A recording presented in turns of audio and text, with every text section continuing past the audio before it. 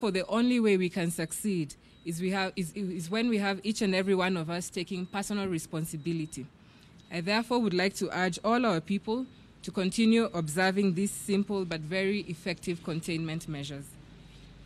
Today, our coronavirus situation is as follows. In the last 24 hours, we have tested 545 samples, out of which 15 persons have tested positive for coronavirus disease.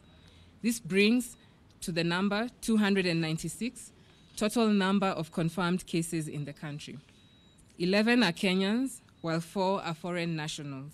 And out of the 15 positive cases, 7 are from Mombasa, 6 from Nairobi, and 2 from Mandera County.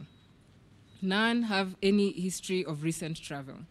With regard to gender, seven are males, eight are females.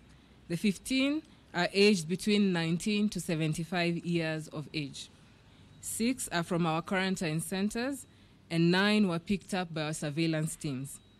And this is a clear indication that the infection is increasingly growing within our communities.